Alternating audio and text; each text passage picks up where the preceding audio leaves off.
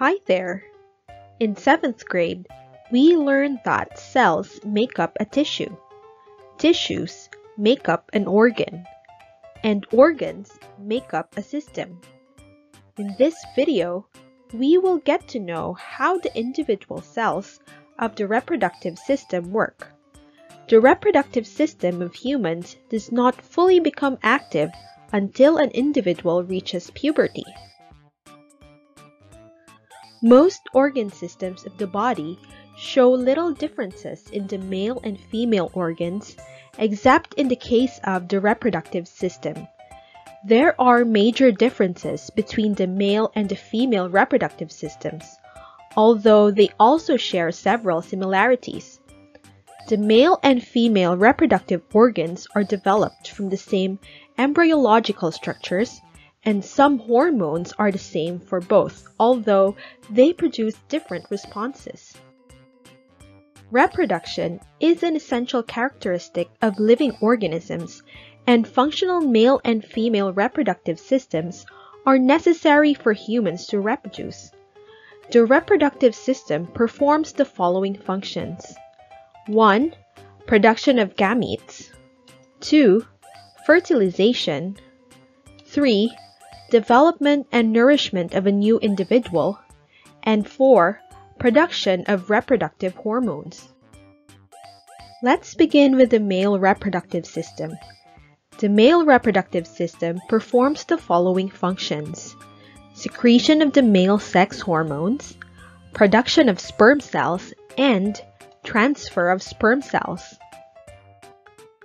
The male reproductive system includes the testis, scrotum, penis, vas deferens, urethra, seminal vesicle, and prostate gland. The male gonads are the testes hanging in the scrotum. Sperm production requires a slightly lower temperature than the human body. This is why the scrotum hangs loosely outside the body cavity. However, when the testis fails to descend, it leads to sterility because of the inhibiting effect of normal body temperature on sperm development. The scrotum consists of skin. In cold temperatures, the scrotum becomes firm and wrinkled, reducing the overall size of the scrotum. The testes are organs within the scrotum each about 4 to 5 centimeters long and are composed of cone-shaped lobules that contain seminiferous tubules where the sperm cells develop. The epididymis is a tightly coiled series of thread-like tubules that form a comma-shaped structure at the back of the testes. The sperm cells continue to mature along this tube. The vas deferens emerges from the epididymis and ascends along the back of the testes to become associated with the blood vessels and nerves. The ejaculatory duct connects into the prostate gland and ends by joining the urethra within the prostate gland. The urethra is a pathway for both urine and male reproductive fluids, but these do not exit the urethra at the same time. Thus, there is no mixing. The male urethra connects from the urinary bladder to the distal end of the penis. While seminal fluid passes through the urethra, a reflex causes the urinary sphincter muscles to contract tightly to keep urine from passing the urinary bladder through the urethra. The penis is only an accessory organ for reproduction and not the reproductive organ itself as most people think. It is the organ for copulation, and it functions in the transfer of sperm cells from the male to the vagina of the female. The penis is composed of erectile tissues. The engorgement of the erectile tissue with blood causes the penis to enlarge and become firm in a process called erection. Testosterone is the main male sex hormone secreted by the testes. This hormone is responsible for the normal development of the organs of the male reproductive system. It also brings about the changes experienced during puberty. The changes that appear at 10 to 14 years of age eventually distinguish the male secondary characteristics. Secondary male characteristics include growth of facial, underarm, chest, pubic, and body hair, enlargement of the voice box resulting to deepening of the voice, development of the male musculature and genitals, and increased secretion of sweat and oil resulting to acne. Moreover, testosterone is responsible for males' muscular strength. This is why some athletes take steroids that contain testosterone or other similar compounds. However, taking steroids have been proven to produce harmful effects and may even result to mental problems. Alright, that's all for the male reproductive system. Let's proceed to the female reproductive system. The female reproductive system has the following functions.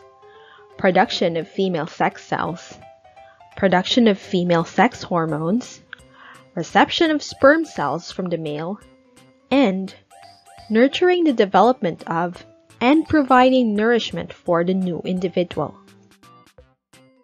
The female reproductive system performs female sexual and childbearing functions. It consists of a pair of gonads or the ovaries, fallopian tubes or oviducts, the uterus, the vagina, and the external genitalia or the vulva. There are two ovaries, each comparable to the size of an almond nut in every female. The ovary contains an ovarian follicle, which contains an oocyte or the female germ cell. When follicles mature, they expand and rupture to release the egg. This process is called ovulation. After ovulation, the remaining cells of the ruptured follicle transform into a glandular structure known as the corpus luteum. The fallopian tubes, also called uterine tubes, extend from the area of the ovaries to the uterus. The long and thin processes called fimbriae, surround the opening of each uterine tube. Fertilization usually occurs in the part of the fallopian tube near the ovary. The uterus is as big as a medium-sized pear. The part of the uterus above and near the entrance of the fallopian tubes is called the fundus. The main part is called the body, and the narrower part is the cervix.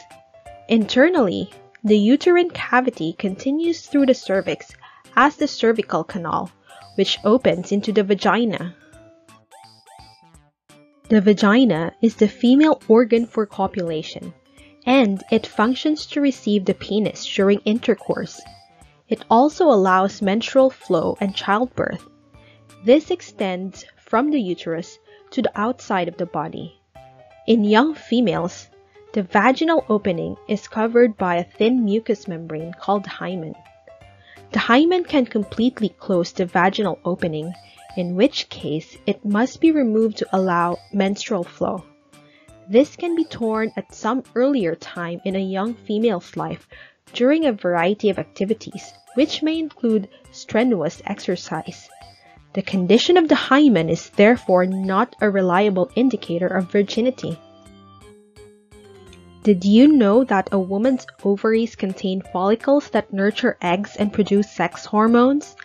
The pair of ovaries, lying on the right and left depressions of the upper pelvic cavity, produces the mature egg cell. This mature egg cell is swept by the tiny finger-like projections of the oviducts or fallopian tubes. The egg moves along this tube with the help of the tiny hair or cilia that line the fallopian tubes. These tubes extend until the uterus. The uterus, an inverted pear-shaped muscular organ, is where the embryo attaches, specifically on its inner wall, the endometrium. A female is considered pregnant when successful implantation happens. The uterus opens into the vagina, which receives the penis during intercourse and serves as the birth canal. The cervix an important reproductive part during birthing is the neck of the uterus leading to the vaginal canal. It dilates or opens before the delivery of a female. The vagina, on the other hand, is a long elastic muscular canal where menstrual blood and tissues are expelled from the body. The walls of the vagina provide lubrication and it receives the penis during copulation. This organ also expands during intercourse and childbirth. Estrogen is one of the two main sex hormones that women have. The other one is progesterone. Estrogen is responsible for female physical features and reproduction. Men have estrogen too, but in smaller amounts. Estrogen helps control the menstrual cycle and is important for childbearing. Estrogen helps bring about the physical changes that turn a girl into a woman during puberty. The ovaries, which produce eggs, are the main source of estrogen from a woman's body. Secondary female characteristics developed during puberty include growth of underarm and pubic hair, body changes such as breast development, wider hips and a smaller waist, the beginning of menstruation, and increased secretion of sweat and oil. Hormones such as testosterone and estrogen play a great role in the body. Hormones are secreted by endocrine glands. Many endocrine glands make up your endocrine system, Hormones are carried into the bloodstream throughout the body.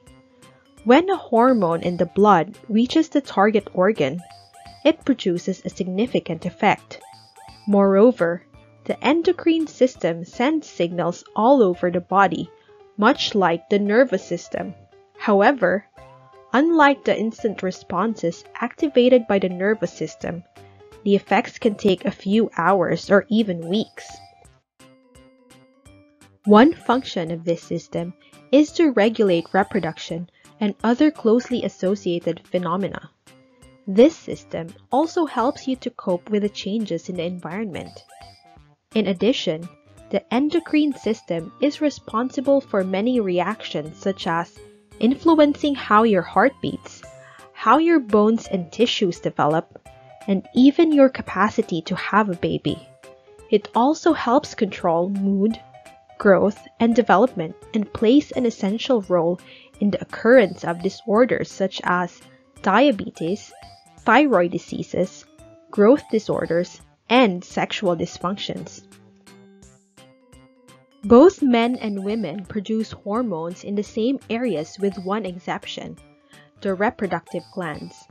Extra male hormones are produced in the testes, while female hormones are produced in the ovaries. In terms of their effects on the body, they can also vary. Some hormones have short-term effects, while other hormones have influence even in the long term, such as those that control our growth and the changes at the onset of puberty. During puberty, there are many hormonal changes that happen in your body. One moment you are laughing, and then suddenly you feel like crying Sudden mood swings are relatively caused by the increasing number of hormones in the body at this stage. It is therefore important to maintain a positive outlook in life and remember that these changes are only temporary and will stabilize with time. Another significant fact about hormones is that they act in very small amounts. If the organ and hormones do not produce the regulated amount of chemicals in your body, it may result to an abnormality. This condition is called hormonal imbalance. An increase or decrease in the amount of hormones may have a significant effect to the body. Alright, here's a quick recap. The reproductive system is responsible for production of gametes, fertilization, development and nourishment of a new individual, and production of reproductive hormones. The organ for copulation in males is the penis, and the vagina for females. The endocrine system secretes hormones to regulate reproduction. The main sex hormone for females is estrogen, and testosterone for males. That's all for now. We will be discussing about feedback mechanisms involved in regulating processes in the female reproductive system in our next video, so stay tuned. See you in our next video and don't forget to keep your minds busy! If you like this video, please subscribe to our channel and hit the notification icon for more videos like this.